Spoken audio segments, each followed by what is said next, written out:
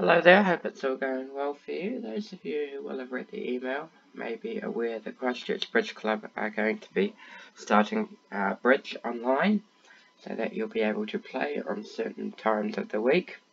So this is just a tutorial video on how to get logged into the site. So what you're going to want to do is go into a site called BBO. This is Bridge Club Online and this is the place where you'll be able to play bridge. And if you just click on this link you'll get taken to this website. And in the top right hand corner is a button that says sign and register. Go ahead and click that and then you'll get taken into this site here.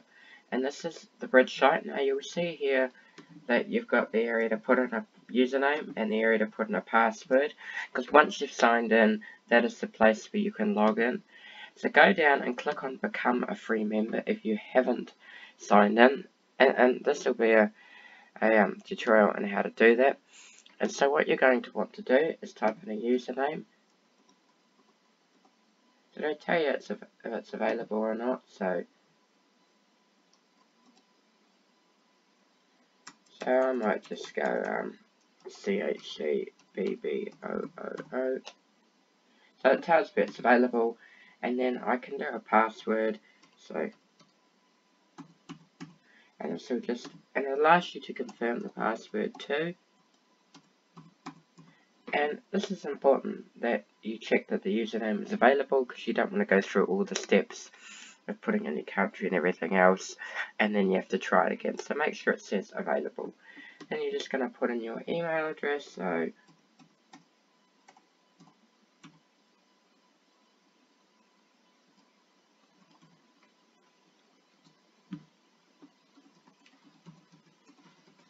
And the reason you want to do this is just so that you can, um, because it will send you a confirmation email, which you have to click accept, and that's just so that you'll be able to log in in future. So, we've typed in email address, and I'll just check that one is right. And then you just want to put in your real name. So I might use the name uh, Sean Smith. There you go. Not sure. Let's see. So I might just use this name. And then you want to type in your Christchurch bridge number, so let's just do 0000. It lasts you for an ACBL number, don't bother with that or anything other.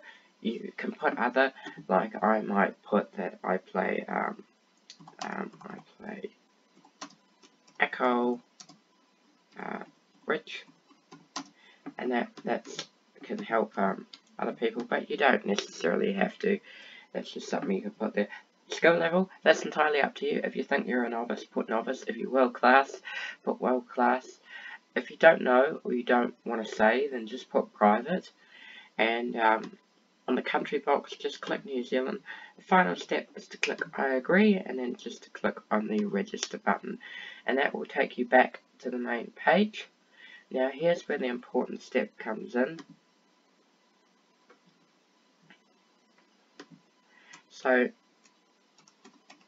I'll tell you if you've made a mistake. So as you can see here, it asks to confirm your password.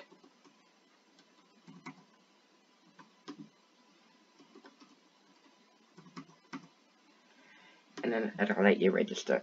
So it will take you back um, to this main page and it's important that you remember this because if you log in, as you can see it won't let you, it'll just put you there. So what you need to do is go into your emails and you should get a uh, welcome, a confirmation email that should pop up. And this is a new email and inside you just want to click here to confirm. That'll confirm that you're doing the whole registration process and it will say the registration succeeded. If it doesn't say that, then it has instructions for you um, just related to there. So go back into this page and you just want to click login and then that will take you into the main site. Now as far as navigating the site, some of the important buttons up here is back. If you ever click on a button, just click the back button and you got the home button too. And then you've also got log off and that's your account name up there. So then what you want to do is there are a few areas you can go. So this is the casual area. And if you click on that, you can take you to the first seat available, or if you have a partner, you could click on that button there, which is I have a partner, take us to a table, and then you can um, type in your partner's username, and it will take you there. So that should be there, and you've got other options, so just have a look through and find which one you want to do. Um, now, as far as actually the bridge coming with the Christchurch Bridge Club, we'll probably post another video on how to get set up with that one. But as far as it goes, we hope you find this tutorial helpful and um, enjoy playing bridge in the foreseeable future. Thank you. Bye.